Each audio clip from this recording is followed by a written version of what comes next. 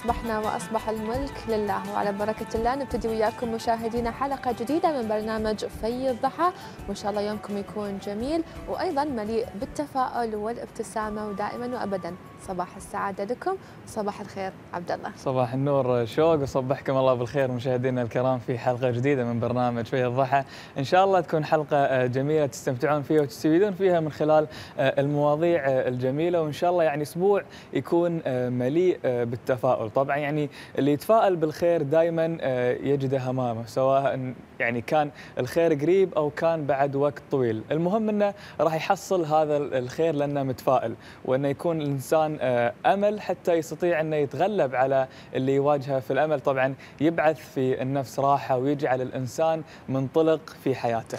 وعلى فكرة يمكن لو نتكلم إحنا أيضا على طاري الأمل وفكرة الإصرار دائما على التفاؤل دائما تصنع ما كان مستحيلا ومن تفاءل بالخير وجده ومن سعى للسعادة حصلها. وأيضا من عاش التشاؤم قتله والمرء دائما يختار لنفسه. فكن أكيد من التفاؤل والتشاؤم. فن يحسنه نوع من الناس ويجعله دائما إلى نفسه وحياته وينقلها أيضا على من حوله ويأثر فيه بطريقة مباشرة أو حتى بطريقة غير مباشرة. طبعا يعني في غالب الأحيان وغالب الوقت يكون التفاؤل والأمل مع بعض ورفيقان. طبعا أن تتقبل نفسك وتثق بقدراتك فهذا ما يضعف ولا يشكك بنفسك وقدراتك فإنك تتقبل النفس والثقة بالنفس تخلي الإنسان قوي ويتعامل مع المشكلة بأنها خارجة وليست فيه. طبعا هذه النفسية ممكن إنها تساعده في علاج المشكلة واستيعابها ومن ثم إنه يتجاوز طبعا هذه المشكلة. دائما يقول لك النفوس المتفائلة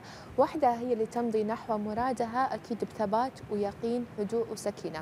وعلى فكرة الإنسان نفس المغناطيس بالضبط يجذب ناحيته الأحداث الظروف اللي دائما تتناسب مع معتقداته وتفكيره. فإذا هو فعلا حب إنه يغير الأحداث فعليه دائما إنه يغير طريقة تفكيره. إذا كان تفكيره إيجابي سبحان الله تنجذب له الأمور الإيجابية لأنه هو تفكيره هكذا. أما إذا كان سلبي فشو نقول الشكوى لله الواحد لازم يغير فعلا طريقة تفكيره. صح لازم الواحد يغير طريقة تفكيره ومثل ما قلنا في البداية أنه لازم يتفائل. إذا تفائلت بالخير راح تحصله في حياتك سواء حصلته بكرة حصلته بعد بكرة حصلته بعد وقت طويل. أهم شيء أنك راح تحصل الخير والصبر. لازم تصبر لأن الصبر مفتاح الفرج. أكيد طبعا الصبر مفتاح الفرج.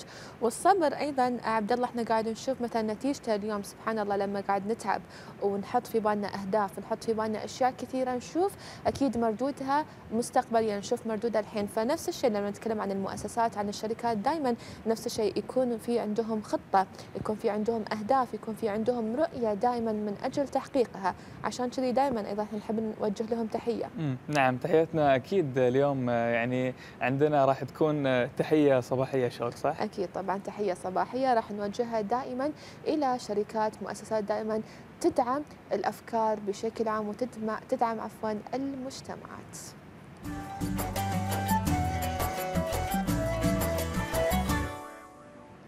إذا تحيتنا الصباحية اليوم راح نوجهها إلى مهرجان أجيال السينمائي. طبعا انطلق هذا المهرجان تحديدا في عام 2018 من قبل مؤسسة الدوحة للأفلام بعد سنوات من الاهتمام والدراسة والتحضير وطبعا ذلك كله من أجل تقديم الإبداعات السينمائية والفنية اللي تناقش قضايا الشباب والأسرة بشكل عام وتلبي احتياجات تلك الشريحة الكبيرة من المشاهدين وتؤمن أو تؤمن لهم احتياجاتهم الفنية والتربوية المتخصصة. طبعا ويجمع مهرجان أجيال الناس من جميع الأعمار حول السينما في إطار عروض أفلام وفعاليات أخرى وسط أجواء تحتضن التفاعل الإبداعي وتشجع الحوار السينمائي. أيضا المشاركة مشاركة الشباب هي تمثل قلب المهرجان حيث تتيح لجنة التحكيم لأعضائها بين عمر الثمانية والواحد وعشرين عاما من شتى بلدان العالم فرصة لمشاهدة الأفلام تحليلها مناقشتها وكل ذلك بهدف تطوير مهارات التفكير النقدي والتعبير عن الذات وأيضا تقدير الأعمال السينمائية. طبعا ويعمل مهرجان أجيال السينمائي على إحياء روح السينما من خلال إعادة الناس إلى الأسس المشتركة المشتركة اللي قامت عليها كما يسعى المهرجان إلى الالتزام التام بتدريب وتطوير الشباب ليدرك أن التغلب على الصعوبات على صعوبات الحياة هو مرحلة أساسية من رحلة الإنسان الشخصية والإبداعية وأن الأفلام طبعا تستخدم تستخدم لغة المخيلة لبناء تجربة مشتركة تشكل رؤيتنا للعالم وتعلم أطفالنا. أكيد فطبعا كل التحية لهم وتقدير لجميع العاملين على مهرجان أجيال السينمائي وأيضا نذكر السادة المشاهدين بإذن الله راح تكون لنا تغطية خاصة من خلال شاشة تلفزيون قطر لمهرجان أجيال بنسخته طبعا هذه المتميزة بإذن الله عودونا كل نسخة م. تكون فيها أفكار جديدة كل نسخة يكون فيها أيضا صناعة قطرية متميزة. نعم يعني هو بدأ من سنة 2013 واليوم إن شاء الله راح يكون الافتتاح وفي تغطية خاصة لتلفزيون قطر إن شاء الله راح تكون اليوم على في تمام الساعة السادسة والنصف. إن شاء الله تتابعون وإن شاء الله تستمتعون وتزورون هذا المهرجان المميز وتتابعون الأفلام المميزة اللي موجودة فيها. خاصة يعني المكان مفتوح فالمكان جدا أيه. حلو. والأجواء الحين ما عندكم أي عذر الأجواء صارت حلوة. صحيح ومن المميز أيضا هذه السنة أنه مش بس راح يكون في كتارة تقدرون تشوفونه في معظم دور العرض في السينمات. إن شاء الله الأفلام راح تنعرض في دور العرض في السينمات إن شاء الله. إن شاء الله. إحنا راح ننتقل وياكم مشاهدينا الكرام إلى الأرصاد الجوية طبعا مع سيد محمد الشمري. سيد محمد الشمري صبحك الله بالخير والكلمة عندك.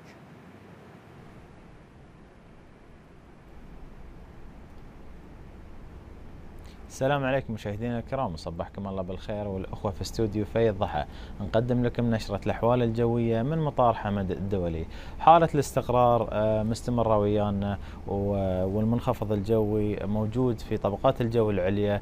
مما يؤدي إلى طقس غائم جزئيا إلى غائم أحيانا مع فرصة لإمطار متفرقة قد تكون رعدية في بعض الأحيان. وأيضا هناك غبار مثار على بعض المناطق. وبذلك في تحذير على الساحل في عرض البحر بإمطار رعدية متوقعة تصاحبها رياح قوية وأمواج عالية داخل البحر. تستمر هذه الحالة إن شاء الله من اليوم حتى نهاية يوم الأربعاء. طبعا الرياح راح تكون جنوبية شرقية جنوبية من معتدلة إلى نشطة السرعة تصل إلى قوية السرعة مع الأمطار الرعدية مما تؤدي إلى ارتفاع الموج من 2 إلى 4 قدم ترتفع إلى 5 أقدام على الساحل مع الأمطار الرعدية وداخل البحر من 3 إلى 6 قدم ترتفع إلى 10 أقدام مع الأمطار الرعدية أيضا. من مساء يوم الغد إن شاء الله تتحول الرياح إلى شمالية غربية سرعاتها تتراوح ما بين معتدلة إلى قوية السرعة وإن شاء الله تستمر ويانا أيضا إلى نهاية يوم الأربعاء. وأيضا راح تؤدي إلى إثارة الغبار في بعض الأحيان خاصة خلال فترة النهار. درجات الحرارة مثل ما نلاحظ أن هي في انخفاض وسجلت اليوم في مدينة الدوحة 24 درجة مئوية من المتوقع أن تصل العظمى إلى 31 درجة مئوية. ومع دخول الرياح الشمالية الغربية راح نلاحظ انخفاض في درجات الحرارة. ومن المتوقع أن تسجل بكرة 21 درجة مئوية الصغرى و27 درجة مئوية العظمى. وبذلك نأتي إلى ختام نشرتنا ونذكر مرتدي البحر بتجنب أي فعاليات بحرية خاصة هذه الفترة حتى إلغاء التحذير إن شاء الله. وتتبعوا حساباتنا على التواصل الاجتماعي عشان تعرفون آخر نشراتنا وآخر الرصدات اللي نبثها إن شاء الله. ونشكركم لحسن متابعتكم. نرجع للأخوة في استوديو في الضحى وشكرا يعطيك العافية زميلنا محمد الشمري شكرا لك أكيد على هذه المعلومات اللي قدمتها ونتمنى أكيد الحرص والحذر لجميع المشاهدين. أكيد نفس ما ذكرنا لكم هناك في تحذير بحري لمرتادي البحر عفوا لذلك لابد قبل أي نشاط نرجع نقول سواء كان بحري أو بري لابد متابعة الأرصاد الجوية ودائما هم يحطون أول بأول كل الأخبار تتعلق بالتحذيرات وأيضا بالأجواء بشكل عام. على طاري الأجواء يمكن إحنا من فترة بسيطة أمس كان هو الختام معرض رويحة شلونك شيء مع العطور؟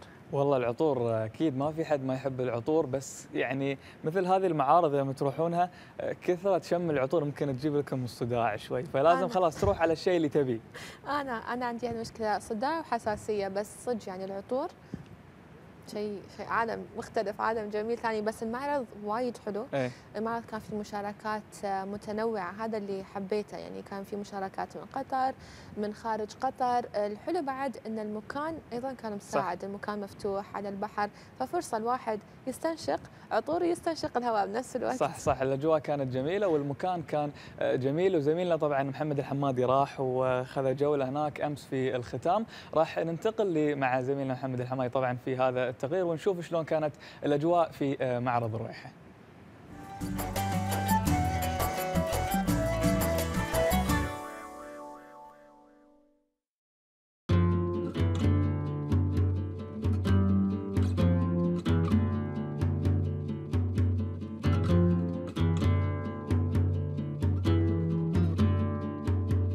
يسعد أوقاتكم بكل خير. رويحة معرض يجمع العطر والعود والبخور والورد وأيضا القهوة. نتعرف عن تفاصيله في اليوم الأخير من خلال هذه الجولة.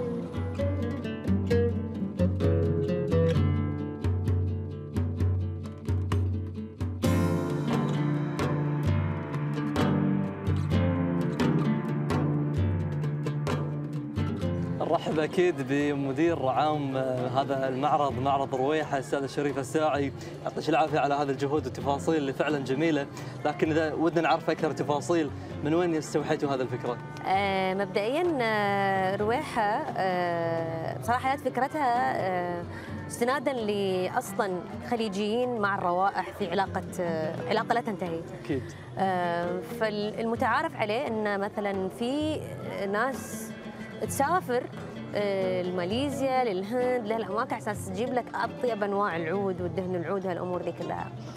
والسوق محتاج بصراحة. فليش ما إحنا نجمع كل هالناس ونجيبهم عندنا ويصيرون هم متواجدين بدل ما الناس تسافر لهم؟ وهذا يعتبر الموسم الثاني الموسم الأول فعلاً. آه العام الماضي كان في مشيرب نعم. هذه السنة في كتارة. فعلا. هل تعتقدين المكان يلعب دور في نجاح المشروع؟ آه، مليون بالمية. مليون بالمية. هو شوفوا المعارض متواجدة.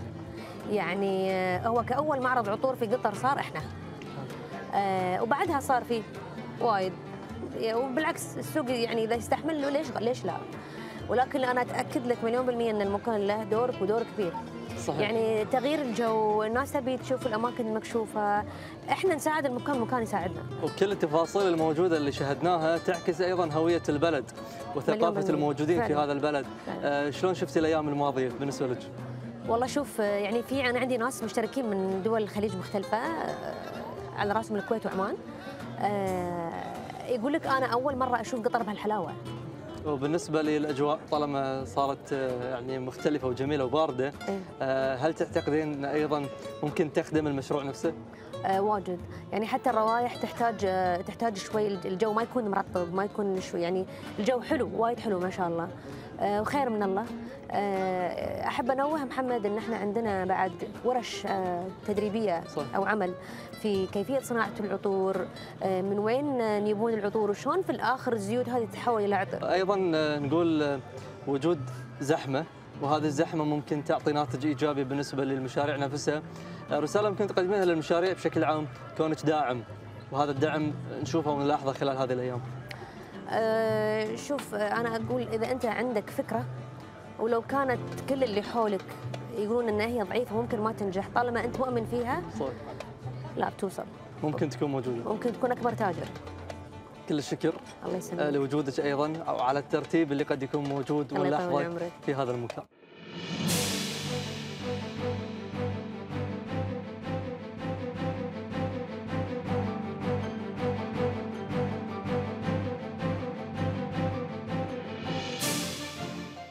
ارحب أكيد بالأستاذ علي القطان، مشروع صار له خمس سنوات تقريبا. نعم، آه، خمس سنوات. كيف كانت التغيرات بالنسبة لك ووجودك اليوم أيضا في معرض رويحه؟ الحمد لله آه، اكتسبنا خبرة من وجودنا في المعارض طبعا صار لنا خمس سنوات آه، في هالمجال والحمد لله شو اللي يضيف بالنسبة للمشاريع إنك تكون موجود في آه، في آه، معارض؟ في المعارض مثل رويحة حزمول آه، معارض منازلنا شو اللي يضيف. للمشروع نفسه؟ يضيف إضافة على المشروع نفسه إضافة كإعلان دعاية مثلا. تعريف الجمهور. كتسويق تعريف الجم- الجمهور على ال- المنتج المنتج القطري. وشلون الإقبال اليوم في رويحه؟ الإقبال الحمد لله من أول يوم لليوم الحمد لله.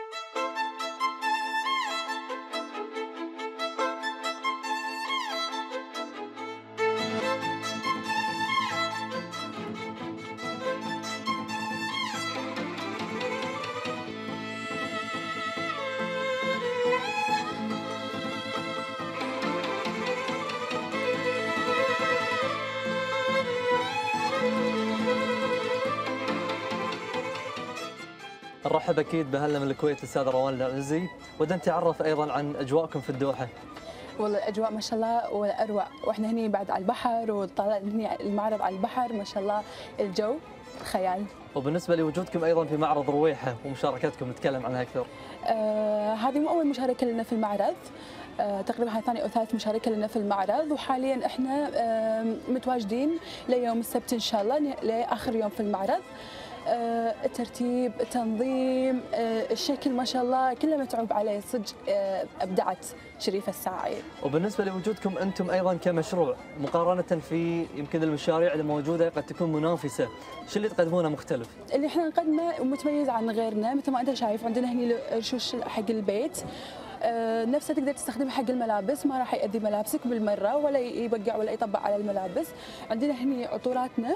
عندنا طبعا our best seller بقطر بالذات وحصري حق قطر بالعادة. إحنا نسوي أي. اللي هو مرش مشموم. ما شاء الله عليكم. وايد تحبون المشموم. صدق أنتم مميزين بهالريحة. فيعني حتى بالكويت من يشوفون المشموم يقول لهم هذا ترى مو حقكم هذا صدق حصري حق أهل قطر. كل التوفيق إن شاء الله، نشوفك على خير يا رب. تسلم. مشكور ما قصرت. حياكم الله.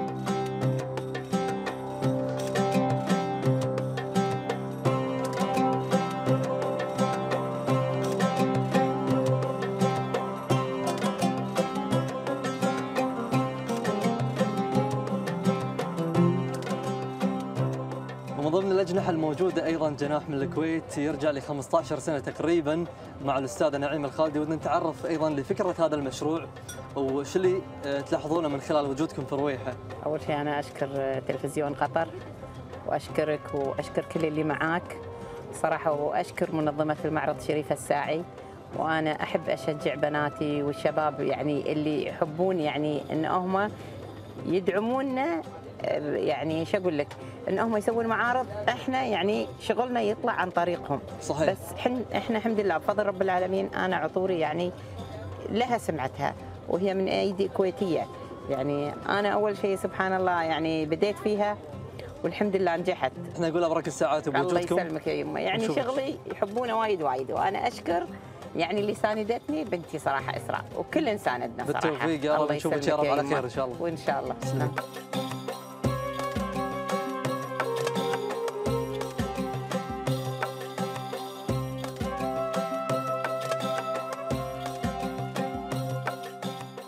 جناح مختلف وكل مكان مميز عن الآخر ونشكر أكيد كل من شارك في هذا المكان وهذا المعرض معرض رويحة. نترقب الموسم الثالث إن شاء الله. نشوفكم على خير.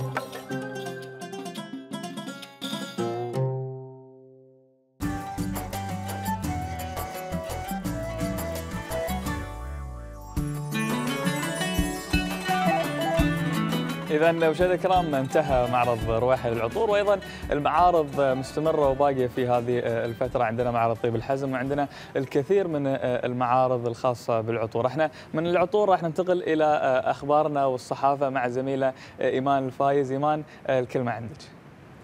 يسعد صباحكم زملائنا ببرنامج في الضحى والصباح طبعا موصول لكم مشاهدينا الكرام سواء كنتم تتابعونا على شاشات التلفزيون أو عبر الإذاعة على الموجة 104.6 أو حتى من من يتابعوننا على موقع التلفزيون الرسمي كيو تي في دوت كيو اي من شوي طبعا لو شفتوا المعرض للعطور يعني صراحة نابني جزء بسيط من الحسد للزميل محمد الحمادي على العطور والبخور. وإحنا أهل الخليج معروف عننا حبنا للعطور والبخور والمشموم والمعطرات بشكل عام ولكن خاصة الروائح العربية. دعونا الآن نتحدث قليلا عن ما تم نشره في الصحف القطرية الرسمية لهذا اليوم. نبدأ هذه الجولة بصحيفة العرب والتي عنونت حمد الدولي يفوز بالجائزة الفضية لأفضل مبادرة لتجربة المسافرين. حصد مطار حمد الدولي الجائزة الفضية لأفضل مبادرة لتجربة المسافرين خلال حفل توزيع جوائز Future Travel Experience آسيا 2019 أي تجربة سفر المستقبل والذي أقيم في سنغافورة قبل أسبوع وذلك.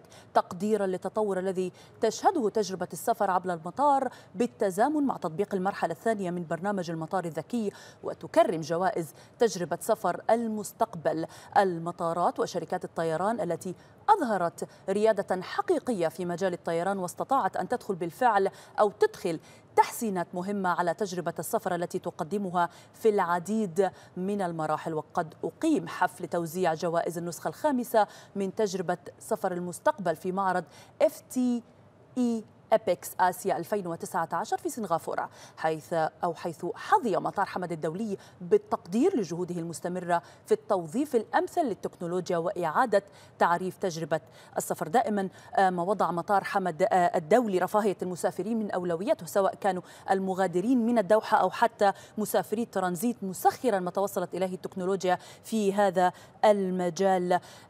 على سبيل المثال قطار المسافرين الخدمة الذاتية للمسافرين التوسعات المستمرة سواء في السوق الحر أو حتى بناء فندق وتجربة فندقية مميزة لمسافري الترانزيت في مطار حمد الفندق ذو الأربع نجوم المتواجد هناك. دعونا لا ننسى أيضا تحقيق مطار حمد للعديد من الجوائز على مدار السنوات الرابعة. حاليا هو في المركز الرابع في قائمة أفضل مطار على مستوى العالم. أيضا حصوله على جائزة المطار ذات تقييم الخمس نجوم للعام الخامس على التوالي وفق تقييم المسافرين وتصدر المطار كذلك المركز الأول كأفضل مطار في الشرق الأوسط من قبل مؤسسة سكاي ترايس الدولية وغيرها العديد من الجوائز. خبرنا التالي من جريدة الوطن والتي عنونت أجيال ينطلق اليوم. تعقيبا على ما قاله الزملاء في الافتتاحية تنطلق اليوم فعاليات النسخة السابعة من مهرجان أجيال السينمائي عن طريق الحفل الكبير الذي ستحتضنه قرية كتارا الثقافية حيث ستشهد السجادة الحمراء في السادسة من مساء اليوم حضور كوكبة من كبار الشخصيات المحلية والدولية وكذلك المهتمين بمجال صناعة الأفلام وعاشقي الفن. وسينعقد اليوم أيضا على هامش فعاليات المهرجان اللقاء الصحفي الخاص بصنع في قطر كجزء من فعاليات المهرجان وذلك بحضور جميع صانعي الأفلام الاثنين وعشرين القطريين. وستعرض خلال المهرجان مجموعة مختارة من 32 فيلما مؤثرا من جميع أنحاء العالم ضمن ثلاث مجموعات من الأفلام القصيرة تحت عناوين إحساس وانتصار وخبرة في مهرجان أجيال السينمائي. الفعالية الرئيسية لمؤسسة الدوحة للأفلام والتي تقام من الثامن عشر إلى الثالث والعشرين من نوفمبر في قرية كتارا. الثقافية مؤسسة الدوحة للأفلام الأفلام عفوا تعمل جاهدة على دعم الحركة الفنية خاصة السينمائية سواء من داخل قطر أو من خارجها. ولعل مهرجان أجيال أثبت نجاحه على مدار النسخ الستة الماضية وهذه هي النسخة السابعة. له نتمنى لهم طبعا التوفيق التوفيق في هذه النسخة. وكما ذكر زملائي ببرنامج في الضحى هناك تغطية خاصة كما عودكم تلفزيون قطر لهذه الفعالية تزامنا مع انطلاق فعاليات المهرجان في تمام الساعة السادسة من مساء اليوم. خبرنا التالي من جريدة الراية والتي كتبت خطة وطنية للتصدي لمقاومة الميكروبات للمضادات الحيوية.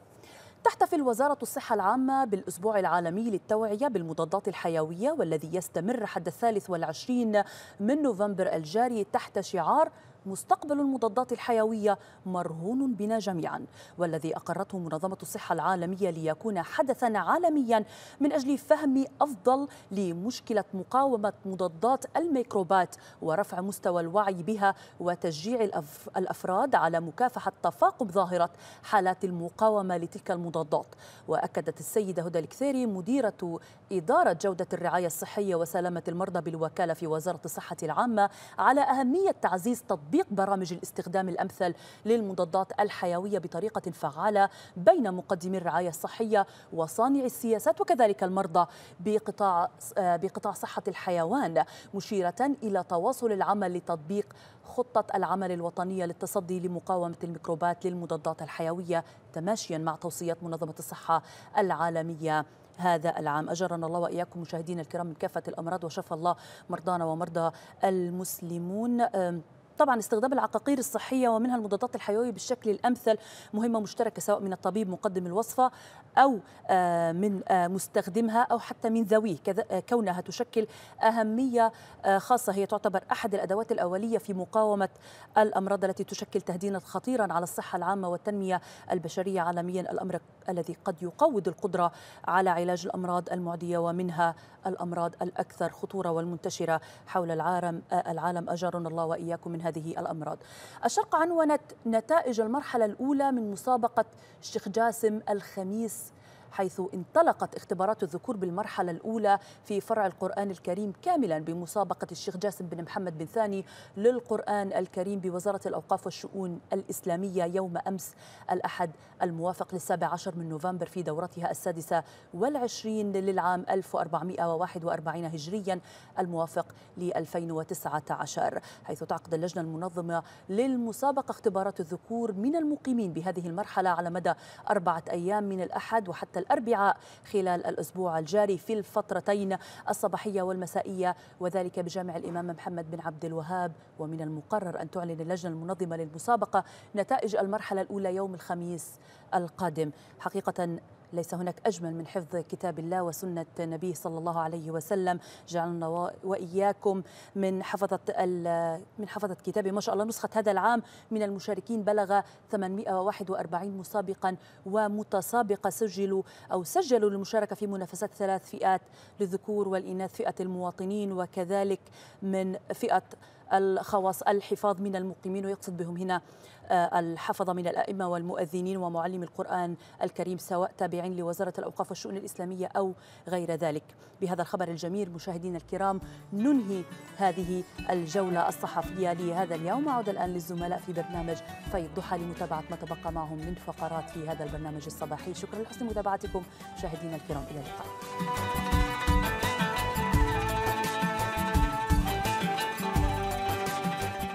أشكر الأخت إيمان صبحكم الله بالخير. مشاهدينا الكرام مشاهدين برنامج في الضحى.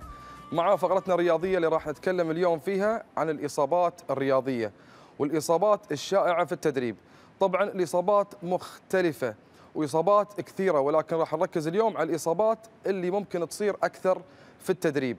راح نتكلم على طريقة الوقاية وعلى طريقة العلاج. طبعا وايد رياضيين وايد متسابقين في المسابقات الرياضية وايد مبتدئين في المجال الرياضي يعانون من بعض الإصابات اللي ممكن تصير أثناء التدريب واللي ممكن تصير أثناء البطولات واللي ممكن تصير أثناء التمارين الخفيفة اللي إحنا نسويها حتى في الفريج أو في المنزل. ولكن في طرق وفي نقاط أساسية إحنا لازم نتبعها. طبعا أهم الإصابات اللي ممكن تصير عند الأشخاص الرياضيين اللي هو التواء الكاحل. التواء الكاحل طبعا إنه ممكن إنك أنت تمشي أو تركض أو تمشي ويصير لك فرق أو التواء في أسفل القدم. الالتواء هذه ممكن يكون التواء بسيط وممكن له درجة تكون درجة أكبر إنك أنت أساسا ما تقدر تمشي. وهذا الالتواء له أساسا مسببات يعني أنا ما راح يصيدني الالتواء إلا إذا أنا أساسا كنت مثلا مقصر أثناء المشي ولابس حذاء رياضي أكبر من حجم رجلي. من الطبيعي راح تكون الرجل غير ثابتة وما يتحكم فيها الحذاء الرياضي فراح يكون الالتواء بشكل جدا سريع. ربط الحذاء الرياضي لازم يكون بطريقة محكمة ما يكون لا بضغط 100% ولا بضغط جدا منخفض يكون ضغط متوازن حتى ان تكون في مرونة أكثر للدم إنه يمر في منطقة الكاحل. فلازم أنا أنتبه على الحذاء الرياضي إنه يكون مناسب ما يصيدني عقبها على اساسه أي التواء ممكن إنه يسبب لي تاخير في البرنامج التدريبي. الشيء الثاني اللي ممكن يسبب لي التواء الكاحل اللي هو ارضيه الأرضية نفسها عفوا اللي أنا قاعد أتمرن عليها.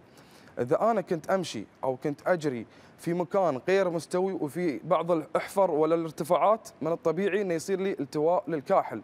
ولكن إذا اضطريت أنا أركض مثلا خلينا نقول لاعبين المسافات الطويلة يركضون في المناطق المفتوحة لازم أنتبه وين أنا أحط موضع القدم عشان ما أحطه بالطريقة الخاطئة ويصيدني التواء في الكاحل ويوقفني عن التدريب.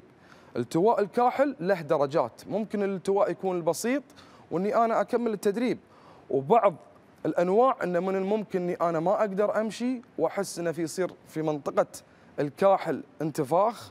ولازم أحط مثلا كمادة ثلج ولازم أتأخر عن التدريب.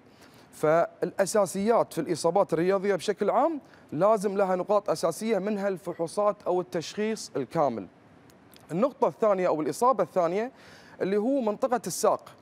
وايد رياضيين يبدون في التدريب مثلا في الصالات الرياضية ويوميا يجري على جهاز الجري في الصالة الرياضية وبعد فترة أسبوع أسبوعين يحس بألم في منطقة الساق أو يحس بحرارة في منطقة الساق ومع الوقت يزيد الألم ليه ما تطلع نفس الانتفاخات أو الكور في منطقة الساق سواء من الجهة الداخلية أو من الجهة الأمامية. الساق طبعا يتأثر بسبب الحمل الزايد إذا كان الشخص يعاني من وزن زايد ويوميا يجري فيصير الضغط على منطقة الساق لأن العضلات المجاورة لمنطقة الساق ما تعودت على هذا الوزن إنه يجري أو يمارس الرياضة بشكل خلينا نقول متوسط أو عالي فلازم أنا أنتبه إني في بداية التدريب الرياضي إذا كنت أعاني من وزن عالي إني أنا ما أتمرن تمارين عالية. وتكلمنا في حلقة سابقة وفي فقرة سابقة عفوا إن لازم نتمرن في التمارين المائية لأنها هي تقلل جاذبية الأرض فتقلل وزنك وتقلل الضغط اللي يصير في منطقة الساق. فمنطقة الساق إذا أنا أهملته وقمت أتمرن عليها بشكل مستمر من الممكن إنه يصير لي شلخ في العظم. وهذا الشيء راح يأثر علي أكثر وأكثر مستقبلا. منطقة الركبة. منطقة الركبة من الممكن أني أنا أعاني منها في آلام معينة تصير لي أثناء التدريب الرياضي. ولكن لازم نعرف أن منطقة الركبة تحتوي على أربطة كثيرة. منطقة الركبة فيها رباط خارجي وفيها رباط داخلي وفيها رباط صليبي أمامي ورباط صليبي خلفي. غير الغضروف اللي يحمي التصاق العظمتين فلازم أنا أسوي تشخيص بالطريقة الصحيحة يعني إذا أنا كنت أعاني من أي ألم في مفاصل الجسم أي ألم. وشفت أن هذا الألم مثلا تم استمر عندي لازم أنا أروح أفحص. أنا بروح أسوي حين الأشعة. في البعض يعتمد على الأشعة العادية اللي تطلع فقط العظام. في أشعة متطورة تطلع لك العظام والأربطة والعضلات. فإذا أنا كنت أعاني مثلا في الركبة من رباط خلل في رباط أو التهاب في رباط ورحت أفحص على الأشعة العادية فما راح يبين لي تبين لي عفوا هذه المشكلة. فلازم أحط في بالي أن في أشعة الأمراي هي اللي تبين لي أو المغناطيسية تبين لي تفاصيل أكثر لمنطقة للمنطقة المصابة. فما يصير أنا أروح أفحص الأشعة العادية اللي هي تبين لي فقط العظام وعقب أقول أنا ما أعاني من أي مشكلة لأن الأشعة هذه راح تبين لي فقط العظم ما راح تبين لي الرباط ما راح تبين لي الغضروف ما راح تبين لي العضلات المجاورة إذا كان فيها تمزق أو التهاب. فأول شيء أنا اسويه إني أفحص بالأشعة الصحيحة وعقبها أروح حق الدكتور المختص اللي يشخص لي هذه الإصابة. فبعض الإصابات ممكن إن الشخص يروح حق كذا شخص يشخص له الإصابة عشان يتأكد من الإصابة وعلى اساسها يعالجها. فما يصير أنا أصاب بأي إصابة وأقعد في البيت وأرتاح. فاللي يقرر لك إنك أنت ترتاح أو ما ترتاح اللي هو الدكتور المختص في الإصابات الرياضية. لأن بعض الإصابات إذا أنت ريحت في البيت وما مارست مرحلة العلاج الطبيعي والتأهيل 100% راح ترجع لك الإصابة في مرحلة متقدمة. يعني مثلا خلينا نقول التمزق العضلي. إذا أنت صار لك تمزق عضلي هو عبارة عن جرح أو قطع في الأنسجة العضلية اللي داخل عضلات الجسم. إذا صار لك قطع وقعدت في البيت وارتحت مكان القطع ينبني نسيج ليفي يعني نسيج غير عن نسيج العضلات. فإذا رجعت تتمرن ما راح تحس بالألم في المرحلة الأولى ولكن هذا النسيج اللي انبنى نسيج غير عن نسيج العضلات. فأول ما تمارس أي رياضة شديدة الكثافة أو الحجم أو الشدة راح ترجع نفس الإصابة مرة ثانية. فلازم أي إصابة أول شيء الأشعة الصحيحة. وعقبها أتوجه إلى الدكتور المختص اللي يشخص لي نوع الإصابة. من عقبها المرحلة الثالثة اللي هي مرحلة العلاج الطبيعي والتأهيل. والناس تهمل مرحلة العلاج الطبيعي والتأهيل. العلاج الطبيعي والتأهيل قاعد ياخذ الجسم من مرحلة الإصابة ويرجعها إلى المرحلة اللي كانت فيها قبل الإصابة عشان عقبها أنت تقدر تتمرن. فأنا ما يصير قلت لكم في البداية إني أنا أصاب بأي إصابة وأخذ الراحة كعلاج لها. فلازم إني أنا أشخصها. في آلام بسيطة من الممكن تصير معك. أثناء التدريب هذه آلام جدا طبيعية اللي ذكرناها في فقرات سابقة اللي تكون في العضلات بسبب تراكم الحمض اللاكتيك، حمض اللاكتيك إذا يتراكم في العضلة راح نحس بألم أثناء التدريب. ولكن إذا حسينا بألم ثاني يوم هو ألم جدا بسيط يصير عبارة عن قطع بسيط في الأنسجة العضلية. يعني قطع لا يذكر فهذه من الطبيعي بعد يومين ثلاثة أيام. هذا القطع يلتحم أثناء النوم مع التغذية الصحيحة. ولكن إذا لاحظت أن الألم مستمر معاي بعد أسبوع أسبوعين كل ما لا يزيد هني أنا أروح ابدا أبدأ بالخطوات الصحيحة اللي هي عبارة عن الأشعة والتشخيص والعلاج. فأنا لازم أركز على هذه النقاط. وإذا دخلت الصالة الرياضية وحسيت بالألم نفسه وقلت بضغط على نفسي عشان أستفيد ترى أنت قاعد تضغط على منطقة الألم وقاعد يزيد الألم وتزيد الإصابة معناته مرحلة العلاج راح تكون أكثر وأكثر. والشيء الثاني والمهم إني أنا ما أعتمد على أي كمادة أو رش حار قبل التمرين عشان أخفف الألم وأتمرن. لأنك أنت بهالحالة شو تسوي؟ احيانياتك مثلا خلينا نقول جاك ألم في الرجل اليمنى. وجيت الصالة الرياضية قلت لازم أتمرن اليوم عشان أحافظ على وزني. ولكن أنت حطيت هالكريم الحار على المنطقة نفسها فهالمنطقة صادها نفس الخمول وسكنت المنطقة فما تحس بالألم. الإحساس في المنطقة نفسها راح. فيوم تتمرن الإصابة نفسها قاعدة تزيد لأنك أنت سكنت منطقة الألم. والألم عبارة عن في خلل في هالمنطقة. طبعا المنطقة نفسها إذا انصابت هي عبارة عن توجيهات من المخ إلى المنطقة نفسها إن هذه المنطقة مصابة. ترى في ألم هناك. فأنا ما أعتمد على المسكنات أثناء التدريب نهائيا. كنت أعاني من ألم معين أقدر أغير التكنيك أو نوعية التدريب عشان أنا أتجنب هذا الألم. ولكن ما أحط أي مسكنات من الممكن ان تسكن المنطقة نفسها وأتمرن أكثر وأكثر وبتلاحظ بعد التدريب بعد ما يروح المسكن راح يكون الألم أكثر وأكثر. فالوقاية الصحيحة من الإصابات الرياضية بشكل عام إنك أنت أساسا تمشي على الخطوات الصحيحة للتدريب اللي ذكرناها سابقا اللي هو الإحماء. في إحماء عام لجميع عضلات الجسم وفي إحماء خاص للعضلات المستهدفة أثناء التدريب. وعقب التدريب عقب ما اخلص التدريب في مرحلة الاستشفاء اللي هي عبارة عن المرونة الإيجابية والسلبية اللي هي مرونة خفيفة أو هرولة خفيفة إني أرجع الجسم من حالة التعب إلى الحالة الطبيعية اللي كان فيها. فأنا إذا مشيت على برنامج تدريبي محكم ومشيت على الخطوات الرئيسية راح أتجنب الإصابات مع التغذية الصحيحة ومع الراحة الصحيحة. الراحة والتغذية إذا أنا تمرنت وبذلت أي مجهود رياضي من الطبيعي إني أنا لازم أريح الجسم بعد هالمجهود اللي هو عبارة عن النوم وعبارة عن التغذية الصحيحة. بعضكم يقول والله أنا تمرنت بالطريقة الصحيحة ولكن انصبت طبيعي إذا أنت تمرنت مثلا خلينا نقول بشدة عالية وما اعطيت جسمك الراحة الكافية عشان يجدد الأنسجة التالفة أثناء التدريب يعني بعد ثاني يوم صار في تجديد الأنسجة مع التغذية الصحيحة لا أنت والله ما رقدت وما اكلت عدل راح يتراكم عليك التعب والأنسجة التالفة راح تتراكم أكثر وأكثر لما توصل لمرحلة الإصابة. نقص السوائل في الجسم بعد عنصر جدا مهم. كل ما ما ينقص الماء في الجسم عندنا كل ما تصير حركة الدم في الجهاز الدوري أقل.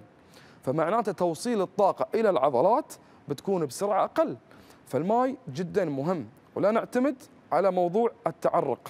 يعني إني ألبس ملابس ثقيلة في الصالة الرياضية على أساس كل ما عرقت أكثر كل ما ضعفت فهذه العناصر كلها بشكل عام والخطوات جدا جدا مهمة إحنا نعتمد عليها. فأتمنى أن الفقرة نالت إعجابكم ونطلع تقرير جدا جميل عن الإصابات الرياضية.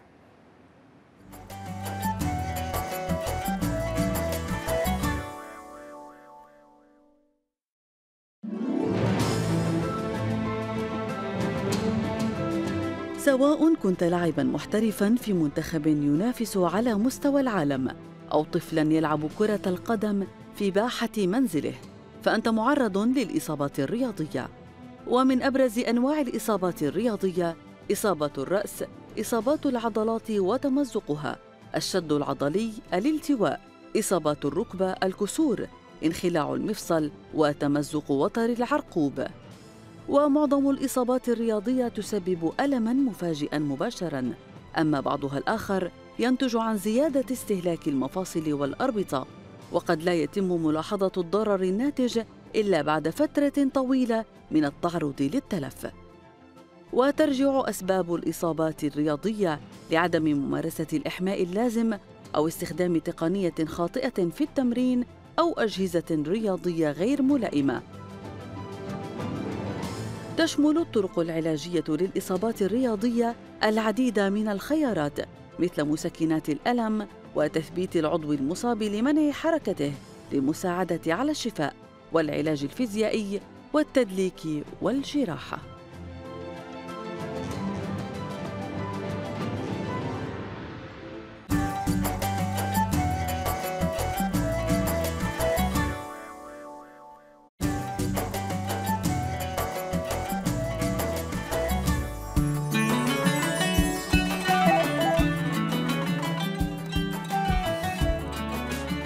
نرحب فيكم مشاهدينا الكرام مرة ثانية في برنامج في الضحى. ونبدأ معكم آه، فقرتنا الحوارية. طبعا تحمل المسؤولية والثقة بالنفس من الأمور الهامة آه، للنجاح. وتأتي ثقة الطفل بنفسه عندما يتلقى الدعم الإيجابي من الكبار حوله. وطبعا يحتاج أبنائنا دائما للتشجيع والدعم والمساندة خاصة من الوالدين والمحيطين فيهم من الكبار. اليوم إن شاء الله راح نناقش موضوع إنشاء جيل جديد قائم بذاته ويتحمل المسؤولية مع الأستاذ العنود الغامدي مدرب ومستشارة دولية. حياك الله ويانا وصبحت الله بالخير. يعطيك العافية صباح الخير. وإن شاء الله الصباح يكون كذي مليء بالطاقة بالأفكار أيضا الحلوة. يمكن إحنا نتكلم بشكل عام عن هذا الفكر التربوي. نحتاج أن فعلا نسلط الضوء عليه أكثر وعن موضوع المسؤولية وتحمل المسؤولية عند الأطفال. لو نوضح أكثر هذا المصطلح. لأن الطفل تبين يتحمل مسؤولية يعني المفروض أنه هو قادر على اتخاذ القرار. لأن تقولين قادر على اتخاذ القرار يعني المفروض تعطينا القدرة على ياخذ القرار من A to Z. بأسبابها بأخطائها بكل الظروف اللي فيها. مثلا يعني يقول أنا أبي أروح أخذ لعبة. لازم يقرر نوع اللعبة وليش يحتاجها وشنو السبب وشنو أهمية اللعبة له. وإذا ما أخذ اللعبة شنو ممكن؟ يعني اللي كلها بديل. وإذا ما كانت شيء مهم يعني أنت ما وفرتي لها الشيء شنو ردة النفسية عليه؟ هو لازم الطفل هذا يعرفه كله مع نفسه. شلون يعرفه؟ لأن أنت تعطينا المجال أنه يفكر يتكلم مع نفسه. أحيانا تسأليني سؤال يعني تستفزين عقله إنه يجاوب عرفتي؟ مو دائما تجاوبين عنه. دائما الطفل اللي تعلم اللي تعلمينه لا تعلمينه ماما شنو هاي هاي كوب لا. أنا ما أقول له هاي كوب هذا شيء نشرب فيه يسمونه كوب. أعطيه الصفة وبعدين أعطيه الاسم. يفهم الصفة معناته أي شيء ينشرب فيه اسمه كوب صحيح. بهالطريقة. نعم يعني ممكن أن نلاحظ في آه، إحنا نتكلم الحين إنه ممكن نعلمه بهذه الطريقة. بس آه، ممكن أن أحيانا نلاحظ أن آه، الأهل يتدخلون في طريقة الأبناء وشؤون أبنائهم. ما يخلون لهم الاختيار ما يخلون لهم أن هم ممكن يفكرون هم ممكن يشوفون شنو هذا شنو هذا على أساس انه يعرفون ممكن يختارون الطريق الصحيح. فالأهل ممكن يتدخلون أحيانا بس بشكل خاطئ. هم صراحة نقدر نقول أنهم يشلون عقلهم تماما يعني. بس بحسن نية. آه، إحنا ككبار عندنا تجارب. لما كنا صغار لين كبرنا قمنا بعدة تجارب منها تضررنا منها منها انجرحنا منها تألمنا. فنتيجة التجربة هذه إحنا من حبنا للطفل. نخاف عليه انه هو يمشي مثل تقولين مسارنا. فنبدأ نقول له لا يا حبيبي لا تسوي شيء غلط. لا يا بابا ما يصير هاي بضرك. لا يا كذا. طيب أنا ما تعلمت. صح. أنا تعلمت؟ لا لا لا. حتى بكرة يسألون زين ليش لا؟ ما أدري بس هم قالوا لي لا. صح. أنت ما أعطيته فرصة أنت شليت عقله تماما. ممكن الطريقة اللي أنت شفت فيها الشيء هذا تكون سلبية. يعني عندك مثلا اللي اخترع الليت يقول أنا اكتشفت 100 طريقه أعتقد 100 أو 1000 100 طريقه أن طريقة خاطئة لإشعال المصباح. لو إحنا شفناها نقول انت فاشل أصلا. صح. 100 طريقه فشل ففي فرق.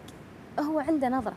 صح. فأنت خلي الطفل يشوف بنظرته هو عشان يبدع. هنا الإبداع هنا يتولد الحرية الفكرية وهذه من الحرية الفكرية تيجي تعزز الثقة بالنفس وتولد المسؤوليه. صح ويقال دائما إذا أنت أردت أن تعتمد آه، أو تخلي ابنك يعتمد على نفسه لابد أن أنت تعتمد على ابنك صحيح. بالبداية وهذا هو المنطلق يمكن أو القاعدة اللي هي تعزز أكثر شعور الثقة لدى الأطفال. اليوم يمكن في أفكار كثيرة آه، أستاذة بشكل عام في مجال تعزيز السلوك، قد تكون مثلا أحيانا إن أنا أعطي ولدي مثلا أو أعطي آه، أعطيه مثلا مصرف حلو. وهو يكون مثلا مسؤول عن هذا المصرف إنه هو يحدد آه، مثلا نفس ما قلتي يبي يشتري لعبة يبي يشتري هاي فهل يعتبر هذا أيضا سلوك آه، أو تصرف ناجح ممكن إنه هو يولد ويعزز جانب الثقة؟ هو تصرف جدا جدا ناجح ولكن لا أساسيات. م. يعني قبل لا نسوي أي تصرف لازم إحنا نفكر فيه صح، أنا بعطيك مصروف بس أنت قول لي شنو بتشتري؟ أقعد أتناقش مع ولدي. م. بابا لو أعطيتك مثلا 100 ريال إيش بتسوي فيها؟ إيش بسوي فيها؟ طفل صغير بيقول لك؟ بروح الدكان بشتري شيبس وعصير هاي حلمة. 100 ريال بالنسبة له كنز وبعزم ربعي وعيال خالتي تحسين إيش كثر هو عقليته جدا عفوية جدا مستمتع بالبساطة اللي هو فيها. فأقول له مثلا طيب هذه 100 ريال وايد. تشتري فيها 20 وتخزن الباقي. شوفي أنا أعلمه الحين طريقة التخزين. صح. تحتاجها مرة ثانية. اليوم أنا عندي أعطيك حتى أعلمه إنه يقدر. بكرة ما عندي أعطيك. مش شرط إني أنا أكون غنية وأقول له لا أنا بعطيك 24 ساعة. لا تعلمينه على التبذير. لا تعلمينه أن خلص هذا أجيب غيره. لا علمني أن إذا كان عندك تعطيني وإني أوفر للأيام الصعبة. هو بكرة لما يكبر خلاص يبدأ يوفر حق نفسه يبدأ يتعلم. طيب لو قال مثلا بروح ال- المجمع أروح فيلم. في بعض الأهالي يعطونهم يروحون الفيلم شنو نوع الفيلم اللي بتروحه؟ السؤال آه والله بروح أكشن. شنو الهدف؟ ليش أنت تحب الأكشن؟ شنو الهدف من الأكشن؟ أبي أفهم طفلي أعرف هو شنو يحتاج. كل طفل أو كل شخص لا في عقله شيء مختلف تركيبة سبحان الله مختلفة. هل التركيبة دي لها احتياج معين؟ مثل ناس تحب الملح الزيادة تحب السكر تحب السكر والملح تحب الأكشن تحب الرومانسي تحب الدراما تحب الرعب. ففي سبحان الله مثل لذة معينة في العقل تعتبر بالنسبة لهم مصدر السعادة المؤقت. فلازم أنا أفهم طفلي وأعرف هو وين رايح توجه. طيب هو قال لي رعب. لا أنا واحدة والله عندي فوبيا من الرعب. لا ما تروح رعب. ترى يخرع زين أنت عندك فوبيا أنا شاكر. صح. صح. صح. هذه مصيبة. فعشان شي اعطيه فرصة يفكر أعطيه مجال يقرر. في نفس الوقت ادخلي في عقله بهدوء. كأنك يعني اتخذيه صديق وليس ابن. اتخذيها صديقة وليست بنت. حسسيها أن هي من نفسها تيجي تقول لك كل شيء في خاطرها. بالضبط. نعم. يعني إحنا لو نتكلم إحنا نتكلم عن يمكن كل أنواع أولياء الأمور اللي موجودين. لو نتكلم صحيح. عن الجانب الثاني ممكن الجانب الحازم الجانب آه، الشديد مع أبنائه. شنو شنو يعكس هذا الشيء على الطفل يوم يشوف أبوه شديد معه أبوه حازم معه آه، ما ما يعطي الأشياء الأشياء اللي هو يبيها ما يسمعه. مثل ما قلت إنه ما يكون صديق له. فشنو ممكن إنه يصير للطفل من خلال هذه الناحية؟ آه، بصراحة الحزم والشدة خصلتين حلوتين. مم. ولكن بحدود. ما يخصل من القائد القائد الجيد والشخصية القوية أنه يكون حازم وشديد. لكن لازم أعلم ولدي متى يكون شديد ومتى تكون حازم والمدة وليش السبب والظرف اللي صار فيه. يعني مثلا أنا أتناقش ويا ولدي. رد علي رد غير لائق في مجمع أنا ما أقدر أرد له بتصرف قدام الله بخلقه لأنه هو الحين طفل لكن لين أروح معاه أركب السيارة ما أنسى الموقف. تعال نركب السيارة بهدوء. سويت كذا كذا كذا. بدر منك تصرف كذا كذا. المفروض كان إني أنا أسوي كذا كذا ولكن لأن إحنا في مكان كذا كذا ما سويت كذا كذا كذا. فهنا الطفل يسمع الدراما هي كلها الصغير يحللها في مخه كامل. مرة مرتين ثلاث يبدأ لين صار مع موقف ثاني يحلل نفس الشيء. صار عنده كنترول مثلا والله كسر آه، تلفزيون. ما تكون ردة فعلي مثل ما يكون مثلا كسر السيارة. لازم أحسسه إن هذه خطأ كبير فأنا لازم أشد. طيب نوع العقاب يختلف. مثلا الواحد يرتكب مخالفة صغيرة والله راح اشترى من وراء ظهري غير إنه يروح مع رفيجة مثلا مثلا راحوا مكان بعيد جدا وأنا خفت عليهم لازم هني اعاقبه شوي بشدة لكن لها حدود ولها مدة. ما أطول العقاب ولا أقصره. نعم. لازم يكون في توازن. هذا من باب العقاب. لكن. أيضا لو نرجع مثلا نتكلم عن باب الثواب. إحنا مثلا اليوم نشوف كثير من الأمهات إذا مثلا طفل سوى شيء تعطيه مكافأة أو الأب نفس الشيء. لكن مبدأ المكافأة أيضا أحيانا ممكن يخلي الطفل إنه لا أنا بسوي شيء عشان آخذ مكافأة مش تحمل مسؤولية. صح هاي يعني مصيبة. هذه مصيبة ثانية خلينا نتكلم عنها. شوفي أنا أيد أن أنت تكافئين ولدك لكن متى؟ آه، كثير من الأمهات والآباء ما يعرفون أنا متى ممكن أكافئ ولدي أنا بكافئ متى؟ لأن هو اكتشف شيء من نفسه. شلون يعني؟ يعني الحين ولدي قاعد يرسم أعطيته أوراق وقلم أنا ما قلت له أرسم شيء. هو من نفسه رسم بيت. الله حلوة رسمه بيت. شنو يعني؟ هذه فيها أسرة فيها ماما وبابا يحبون بعض فيها عيال فيها وردة ويحط قطوة الحيوان اللي عنده في البيت قطوة أرنب اللي هو. زين عشان رسم هذه الرسمة بطريقة إبداعية بدون أنا معلمة من نفسه شاف أخذ القلم ورسم. أنا ما علمته هنا أكافئه لكن لين أنا مثلا خذيت القلم حطيت له نقط قلت له ارسم وراي. أو رسم موعد وراي هنا أنا ما كافئه ما سويت شيء جديد. صحيح. آه مثلا بابا أنا عندي كرتون ومثلا أبيك تقص لي إياها بطريقة في أطفال. قص لي إياها بشكل سيارة وأنا بركبها. هو مم. من نفسه جاب الفكرة. صحيح. بس لأن المقص هو مضر أنا استخدمته أساعده فيها. هنا أنا اكافئه لكن أفرض أنه هو يبي يسوي شيء لأنه شاف ولد الجيران أو رفيجة أو واحد ثاني عنده نفس الشيء أنا بروح أسوي نفس الشيء طيب أنا بسوي لك لكن ما راح أكافئك عليها. مم. حتى لو أتقنها. وصارت perfect ما راح أعلمك عليه ما راح أكافئك عليها لأن هذه ما أنت اللي أبدعتها أنت قلدت. هذا يعني الفرق يعني. بس بشكل عام يعني أستاذة العنود أنت دائما في كل النقاط اللي قاعد تذكرينها قاعد تذكرين مبدأ جدا مهم اللي هو التحاور والتفاهم مع الطفل والنزول حتى لمستوى عقله أتوقع هذه من أهم الأمور اللي لازم أي أم أو أي أب قاعد يشوفونها الحين هي يتبعونها مع عيالهم. بس نرجع ونقول موضوع الثقة موضوع المسؤولية هي مش تقع فقط على عاتق الأم والأب بل هي مسؤولية مجتمعية. فكلمة توجهها بشكل عام بخصوص هذه المسؤولية المجتمعية اللي أكيد تترك أثر وانطباع حتى على الجيل نفسه. آه، الثقة بالنفس لها عدة مراحل نقدر نقول خمسة. تبدأ من الوالدين. طريق الكلمة الحلوة الأسلوب الحلو الاندفاع. يعني أنا عالمة شلون يندفع بطريقة حلوة أحن عليه أشجعه بعدها تيجي الأهل سواء كانوا إخوال العم عيال الخالة عيال العمة الأشخاص المحيطين. أنا ما أقدر أقول بس الإخوان لأنه يختلف من بيت لبيت مين معك في البيت؟ لازم نشجعه حتى في فشلة. أنا ما أقول له أنت فشلت. أقول له بالعكس أنت اكتشفت طريقة ثانية للنجاح. وطريقة ثانية للفشل. فحاول واللي يفشل لازم ينجح. واللي ينجح لازم يفشل. محاولات. وهذا معناته أنت قاعد تحاول. ففي أنا قاعد اعطيه دافع. طيب بعدها تيجي المعلمة. والمعلم كاد أن يكون رسولا إلى الآن نتذكر بعض المعلمات. أنا عندي المعلمات القطريات. مروا علي والله إلى الآن لأن أذكرها تدمع عيني. أتخيلها بصوتها بشكلها بطريقتها نعم. بانسجامها أسلوبها حتى عقابها كان بالنسبة لي رائع. نعم. تعاملني فعلا كأني بنتها. كنت أتحسف إني أنا محل الواجب. كنت يعني أحس بالتقصير اللي جيت متأخرة خمس دقائق جيت وراها أحس إني أنا الغلطانة حتى لو بس ناظرتني لو اسفهتني أنا أحترق. أسلوبها لي احترامها لي آه، اعترفت بكياني مع إني أنا كنت طفلة وكنت مشاغبة لكن اعترفت بكياني واحترمتني حتى في نصحها لي وفي عقابها لي. الطرف الثالث اللي يجي المجتمع. آه، لازم إحنا نعلم الطفل إن أنا عاملة مثل شخص كبير أنا ما عاملة كشخص أنا طفل لا عامله مثل شخص كبير. يعني راح المحل يشتري أقول له أنت عارف مثلا اللي خذيته ما يرجع. طيب هو طفل بيرجع طيب أنا باخذ منه. بس أقول أنا قلت لك اللي ياخذه ما تراجع. مم. طيب يبي يلعب في شيء في المحل. أمه قاعدة مثلا تتسوق والطفل تلاقين أكثر شيء يكسر ويبهدل. صح. الحركة مش حلوة يعني صراحة مزعجة. فأنا المفروض كأم أقول حق ولدي لا تتشاغب المسؤول مال المحل أو ذي يقول له لا تلعب إذا لعبت بطردك برا. نعم. لازم يكون في عقاب. على النقطة. لكن بدون مني أنا أشد عليه أنا أكلمه بعقلانية. نعم. ترى بطردك برا. ثالث شيء بعد المجتمع يجي الزوج لازم نعم. يحترم كياني ويعرف تقديري ويعرف إن أنا شريكة معه فيثق فيني وأثق فيه فتكون ثقة متبادلة نعم. بعدها يجي تدور مرة ثانية بالعكس أنا ربي عيالي والأهل وتدور الدائره نعم. نعم. شكرا لك استاذه العنود الغامدي يعطيك العافية على هذه آه، المعلومات القيمة ويعطيك العافية إن شاء الله ال- الآباء الأمهات اللي يتابعونا إن شاء الله يأخذون هذه المعلومات بعين الاعتبار إن شاء الله. إن شاء الله. وراح. يعني مشاهدينا الكرام إحنا مستمرين معاكم بس ننتقل إلى زميلنا عمر الشمري الموجود في آه، مؤتمر قطر للصحة العامة في فندق الريتز كارلتون. عمر صبحك الله بالخير والكلمة عندك.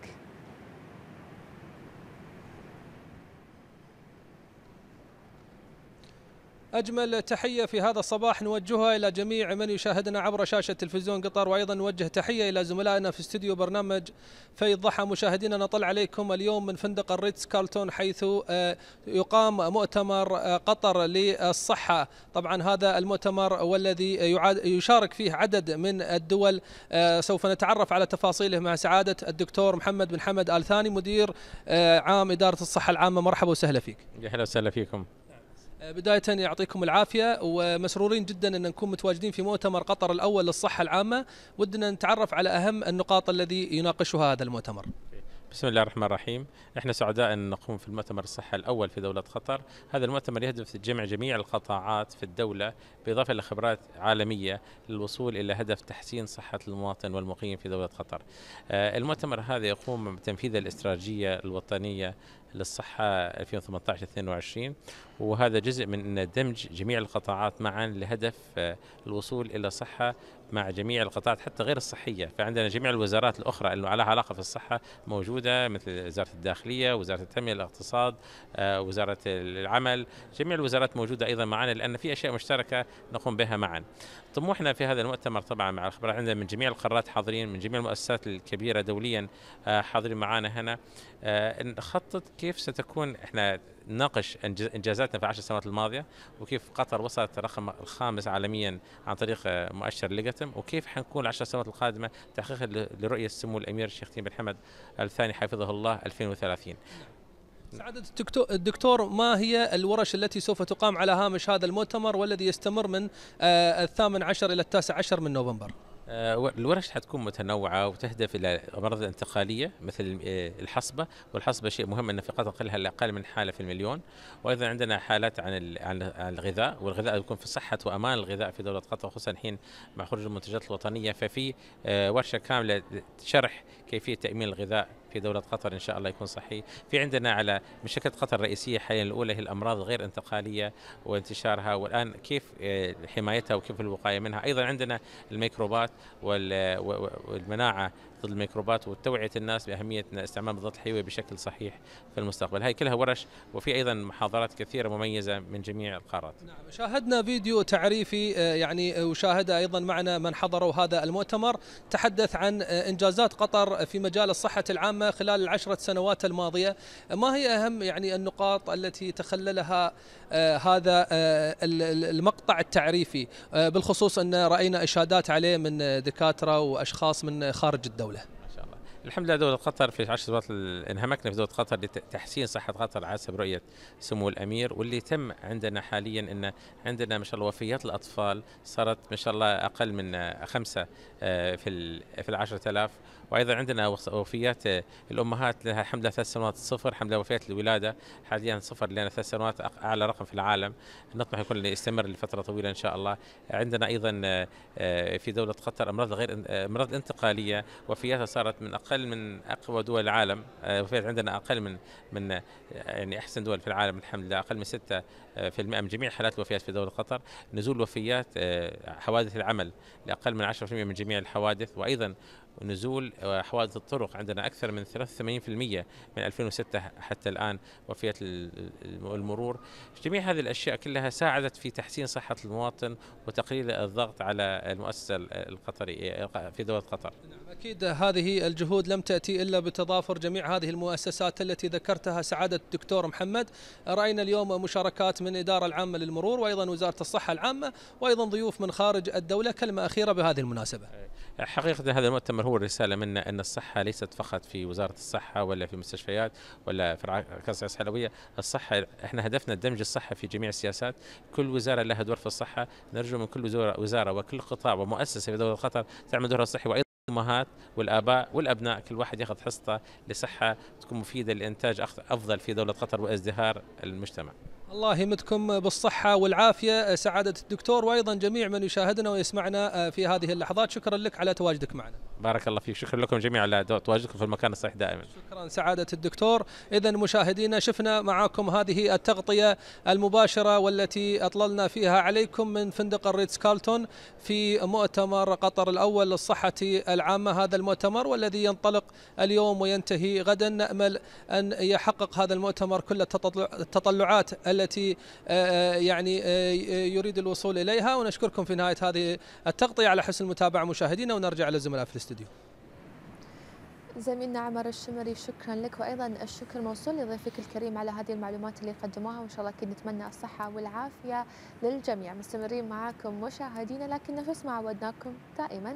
وابدا نأخذكم بجولات مختلفة ومواضيع أيضا مختلفة. هالمرة موضوعنا عن الإكسسوارات تحديدا اللي تعتبر من الصناعات المتميزة والخفيفة اللي نقدر نقول صارت منتشره بشكل كبير في وقتنا الحالي خاصة بين البنات. طبعا يستخدمون فيها العديد من الأشياء اللي تضفي على الإكسسوارات المزيد من الجمال ودائما لابد يكون في متابعة لكل ما هو جديد في عالم الموضة. راح نتحدث أكثر عن صناعة الإكسسوارات. يسعدنا نستضيف معنا شيخة المهندي مصممة إكسسوارات صباح الخير وصباح الإبداع والتميز. صباح, صباح الخير يا غالي. العافية. يعني شيخة في البداية لو قاعدين نشوف إحنا على الطاولة يعني الكثير من الإكسسوارات الكثير من الأشكال. خلينا في البداية نتكلم عن آه، عالم صناعة الإكسسوارات.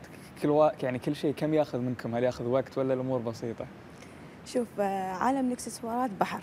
مم. يعني لو بقول لك آه، واحد اثنين ثلاث بكون ظالمة حق الإكسسوارات. منوعة. الإكسسوارات تيك من القماش تيك من الأشياء اللي أنت تشوفها في السوق. يعني في أشخاص يبون الكريستال يبون القماش. أنت وإبداعك. فعلا وإحنا اليوم قاعد نشوف هذا الإبداع. أتذكر شيخة كانت اول أول ظهور لك 2017 2017 للحين توج في بداية المشوار. الحمد لله اليوم وصلتي مع هذا الوصول. أيضا قاعد نشوف دائما في تطور بالأفكار تجديد في الأفكار. يعني مثلا أنا من أكثر الأشياء اللي عجبتني هالتاج يناسب اليوم الوطني. اليوم الوطني. أنت هال collection مسويته لليوم حق الوطني؟ اليوم الوطني. زين. وفي أشياء حق المناسبات بعد. حق المناسبات. يعني مثلا لو تشوفون مشاهدينا هالتاج بعد شد انتباهي هالقطعة هذه. هذا تيج آه، من التور ومعها القماش اللي آه، شوي مخرز. يعني أحس أنا سويته شوي يعني بأفكار. مم. بدل ما تاخذينه وتربطينه هو مربوط وهو جاهز كامل وجاهز بس البنت تلبسه. حلو إن الواحد لازم دائما ينوع بالأفكار لازم. بالأشياء اللي موجودة. فانت شلون آه، تشوفين هذا الجانب؟ صعب؟ هو صعب. بقول يعني أنا لما أقعد مع أي وحدة صعب إنك تاخذين فكرتها صعب إنك تاخذين اللي هي تبيه. لما أنا أسوي شيء يمكن ما يناسبها هي م- م- فكرها في شيء ثاني. فأنا يعني ناخذ اقتراحاتنا من بعض ونطلع من اللي هي تبيه. شو اللي شو اللي شدك اللي هذه الهواية إنك تسوين مثل هالاكسسوارات وهذه آه، الأشياء؟ هو من الصغر. مم. من أشوف أمي الله يحفظها كانت تسوي لنا الأول بالخيط والابره ما إيه. كان عندنا الصمغ والأشياء المبتكرة الأشياء البسيطة. بالمشابيس بالأشياء. صح. هذا الشيء اللي أنا حبيته. وحبيت إني أبتكره. وحبيت إني أفكر فيه وحبيت إني أبدع فيه. وحبيت إيش تبدعين فيه. أتذكر لحد الحين لو نتكلم عن طار الإبداع تقريبا عام 2017 كانت للحين ما مو موجودة موضة الشفاف لكن من يومها كانت عندك هذه الموضة كانت موجودة لحد الحين أتذكرها. سويته على التور وعلى ال- الصماط مم. الصماط الشفاف. هاي الحلو حلو إنه دائما الواحد يبتكر الشيء. مثلا إحنا يمكن okay نقول فعلا في أشياء بالموضة تصير إحنا ناخذ منها بس لابد لا- لازم تكون لنا لمستنا الخاصة. صح. فمثلا الحين لو نتكلم عن انت شنو أكثر شيء تحسينه يميزك في تصاميمك للإكسسوارات؟ آه، اللي يميزني أنا آه، ألعب بالقماش. لعبتي لعبتي في القماش.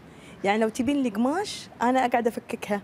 يعني انت الهدية اللي تفضلينها قماش القماش زين آه، أخت آه، شيخة يعني لو نتكلم إحنا الحين حي بندش على فصل فصل الشتاء وعلى أيام اليوم الوطني فهل كل مناسبة يختلف فيها الإكسسوار أو فصل الشتاء يختلف عن فصل الصيف؟ فنتكلم أكثر عن هذا النوع. الإكسسوار ما يختلف. مم. للمناسبات اللي تك اللي لازم فيها اللمعة. مم. أما الأيام العادية لا. يعني الشتاء آه، أكثر شيء بيلبسون الكب ولازم فيها أشياء بسيطة بس الإكسسوار بالشتاء بالصيف نفس الشيء بس ممكن مثلا تختلف الخامات يعني الخامات. بالشتاء نروح للشموا المخمل هذا صح؟ أيوه وهالشيء دارج يعني حاليا؟ فيه مم. اللي يجي تبي تبي الربطة أنا أبي الربطة أبي ال- المخمل بس يكون عليه تركيبات الشيء. أبي التاج يكون فيه مخمل يعني فيه الحين سؤال أنت من ساعه قاعد تسولفين قاعد تقولين هم يكلموني هم يقولوا لي فأنت تتواصلين مع الزبونه بشكل أكيد. مستمر مثلا تقول لك مثلا مثلا هي عندها فستان اليوم الوطني وعندها قماش تقدر تجيب لك اياه وانت تصممين شيء يناسب الفستان إيه القطعه أنا الحين كان عندي معرض قريب وكان عندي فساتين قالت لي أنا أبي آه، مثلا آه، تركبيني قلت لها أوكي جيبي لي إياه بسوي لك إياه أو عندي أنا وأسوي لك إياه. حلو. وفعلا أنجزت له وخذته حلو. يعني- دلع. دلع. يعني توفير توفير كل شيء وبسهولة بسيطة. أنا مدلع مدلع يعني- الب- البنات والحريم. اللي يبي يدلع يجيني. إحنا ما إحنا ما لنا دخل بالموضوع هذا. شوق عندنا؟ تقرير الحين نتكلم عن الاكسسوارات. عندنا أي تقرير عن الاكسسوارات؟ شايك نشوفه؟ أنا وأنت أكيد شيخة والمشاهدين نشوف هذا التقرير ولا نعوده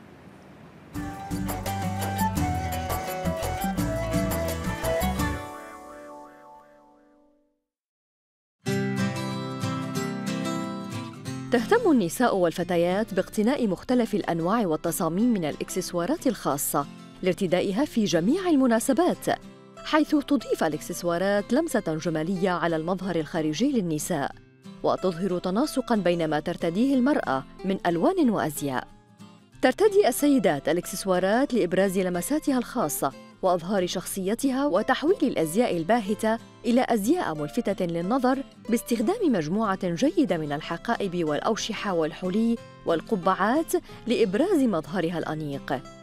ولطالما كانت الاكسسوارات جزءا مهما واساسيا في إطلالة المرأة على مر العصور حيث تظهر في كل عام صيحة من الاكسسوارات ذات الأشكال والتصاميم الجديدة التي تناسب العصر بالإضافة إلى أشكال متجددة من تصاميم متوارثة يتم التعديل عليها مع الاحتفاظ بالشكل الأساسي الذي يعبر عن ثقافة أو تقاليد كل مجتمع.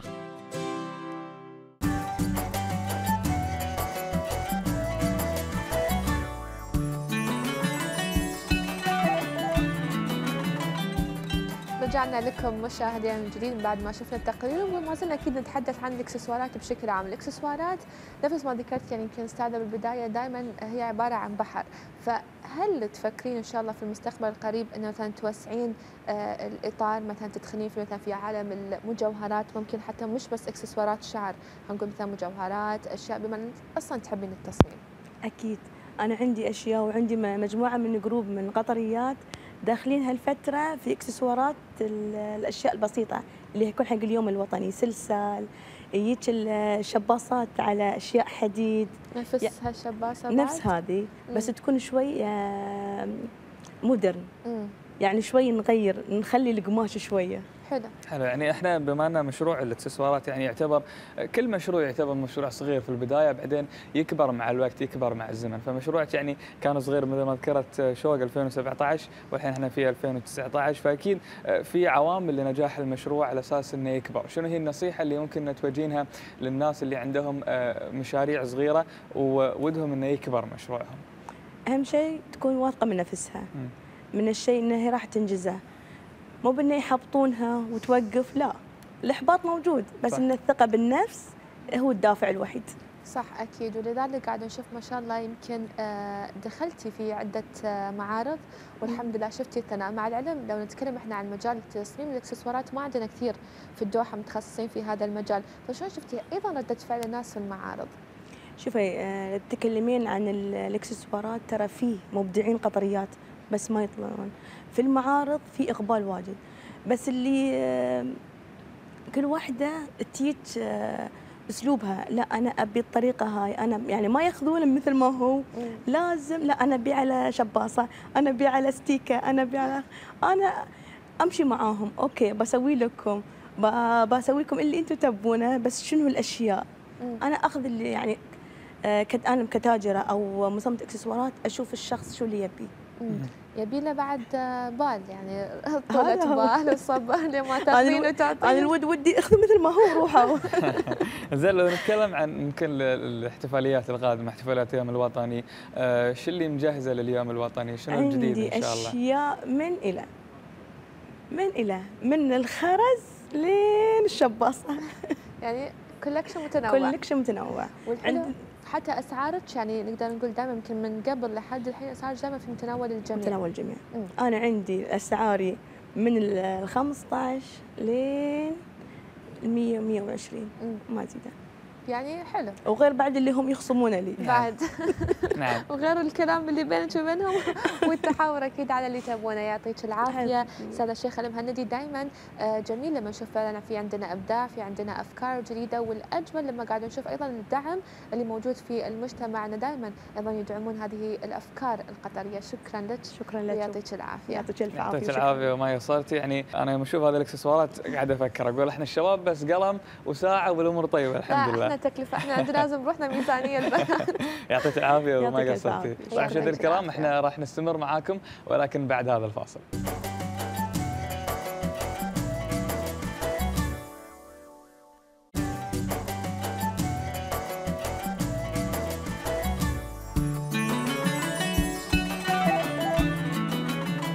مشاهدينا الكرام رجعنا لكم ونرحب فيكم مرة ثانية في برنامج في الضحى. آه، يعني في ممكن من ال- ال- الحيوانات اللي ممكن تسمع اسمها تحس إن ال- الاسم غريب شوي يعني ممكن أسألك عن حيوان الماموث. آه شوف صراحة ما عندي وايد معلومات إيه. لكن اللي أعرفه إنه هو أتوقع من الفيلة إيه. اللي انقرضوا قبل ألف سنة بس الشيء الوحيد بعد اللي أعرفه ذاك اليوم بالصدفة كنت قاعدة أقرأ معناته هي الصفة الماموث ترى الصفة معناته الكبير بس هالمعلومات اللي عندي يعني إحنا راح نتكلم أكثر وراح نعرف أكثر عن آه، حيوان أو فيل الماموث في آه، المكسيك من خلال هذا التغيير اللي راح نشوفه ونرجع وياكم بعدها مشاهدينا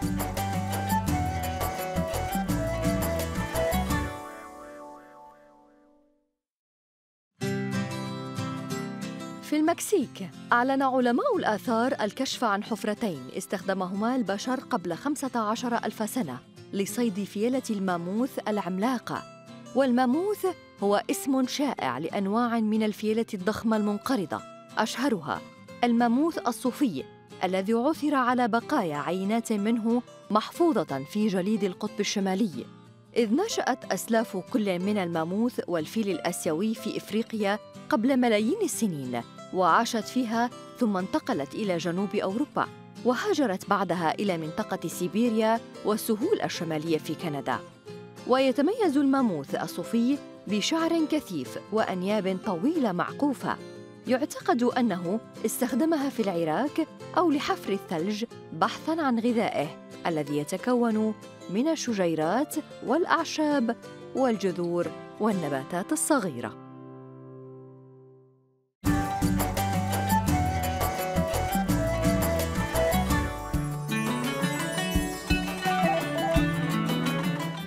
المكسيك مرة أخرى. إلى قطر إلى برنامج في الضحى. إن شاء الله أنكم استمتعتوا معنا مشاهدينا في حلقتنا لهذا اليوم. واستفدتوا أيضا.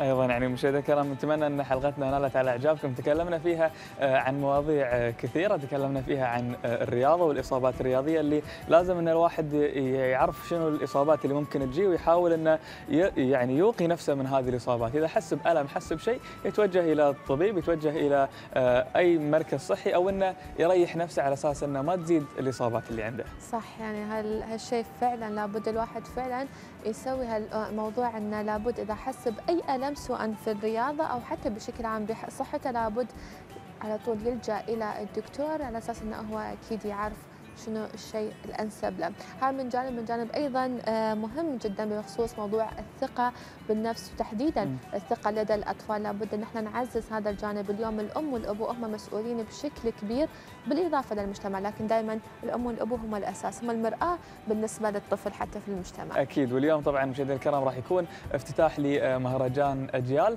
نتمنى متابعتكم في تغطية خاصة لتلفزيون قطر الساعة 6:30 راح يكون المهرجان. نتمنى أن استمتعتوا في حلقة اليوم من برنامج في الضحى. مع السلامة. في أمان الله.